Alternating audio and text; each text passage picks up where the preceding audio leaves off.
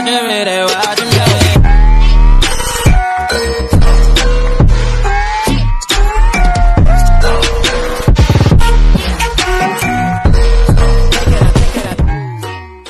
Hey, mga ka-flavors, good day. Ayan. Kayo ba'y problemado, lalo na sa mga baguhan na mag-iipon kung paano magpakain o papakainin yung mga alaga natin mga handfeed na ibon na maliliit? Eh, bibigyan ko kayo ng tip, lalo-lalo na sa mga baguhan na kinakabahan kung paano sila pakainin. Ang tuturo ko sa inyo yung syringe na may hose tsaka walang hose. Kung, kung paano yung proper way kung paano pakainin yung mga alaga natin ibon. Para syempre yung mga nagtatanong na lalong-lalo na sa mga baguhan kung saan ba ipapasok yung dulo ng dulo ng syringe or kung magka-craft feeding ka gamit itong hose. So yun, yun ang ituturo ko sa inyo. So paano? Simulan na natin? Okay, good.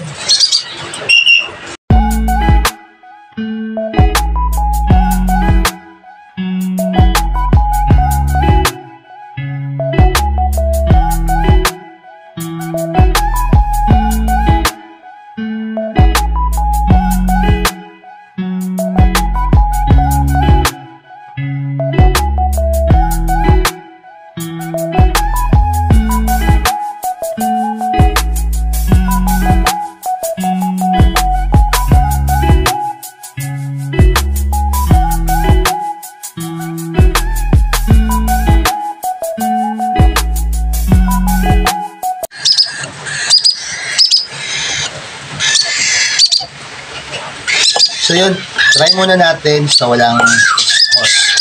Saan yung, proper way na pagtutok ng dulo ng syringe sa mga alaga natin ibon. Okay, good? So, eto na. Yung green chip coin natin kung paano natin papakainin without using hose. Okay, para ano, kasi try natin yung hindi crop feeding. Kumbaga sabik lang yung subo nung syringe natin. Actually, sa mga hindi nagka-crop feeding, tapos sa dulo ng syringe, diba? Okay lang naman kahit saan dyan. Kasi may mga nagsasabi na, lagi daw sa kaliwa. Oo, oo, tama yun, lagi sa kaliwa. Yan, pwede laging sa kaliwa ang puso, papunta sa kana, pakanan, kung magka-crop feeding kayo. Pero kung yung usually na walang hose, na hindi crop feeding, okay lang kahit saan. Basta unless na hindi sila ano na bibilaukan kung paano kayo, paano nyo to i-press itong syringe na to. So, turuan ko yung paano ha. Huwag kayong kabahan. Hawakan nyo lang yung, itong proper way ng paggamit sa ulo nila. Ito, itong, itong laking tulong nito. Itong thumb nyo, tsaka hintuturo, hawakan nyo sa gitna, itong gitna, ayan.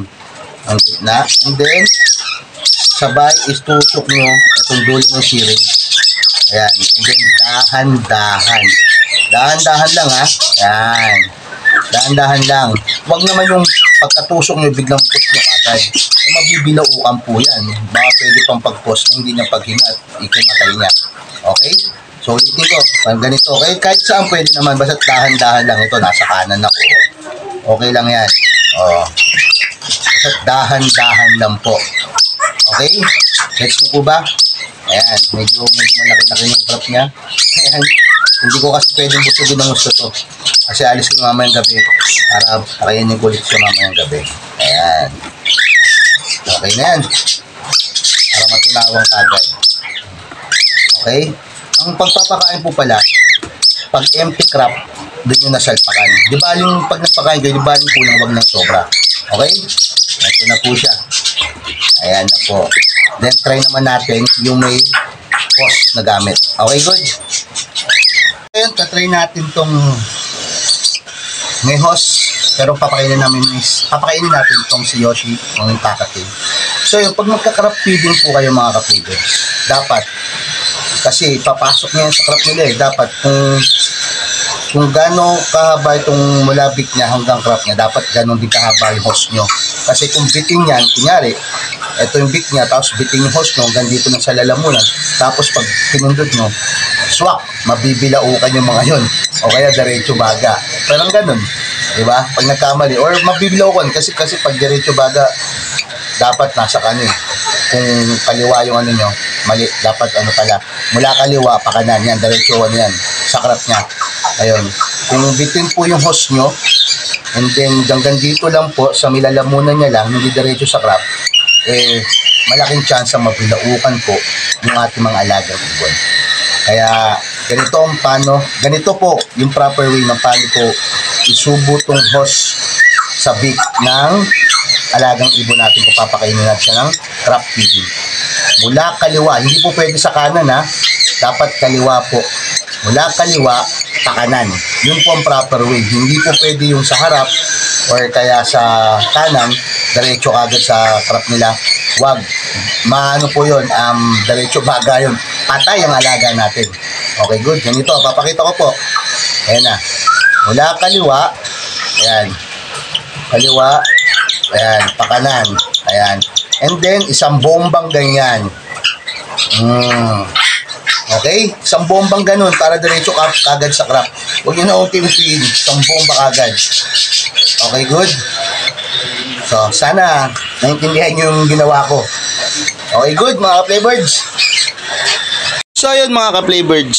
Sana may natutunan kayo sa konting tip ko kung paano pakainin ang ating mga alagang ibon. Ayun, sa mga baguhan dyan, huwag kayong matakot. Okay?